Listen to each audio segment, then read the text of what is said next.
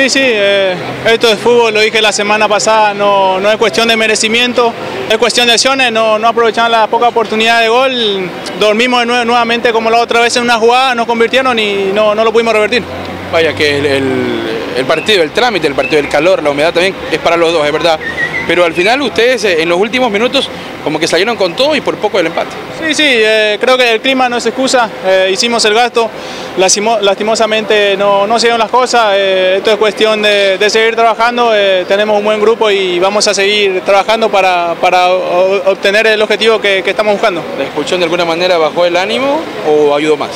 Mm, yo creo que afecta siempre, pero el equipo no bajó, dejamos todo, no quiso ser. Eh, hay que seguir trabajando, seguramente poco a poco nos van a salir las cosas.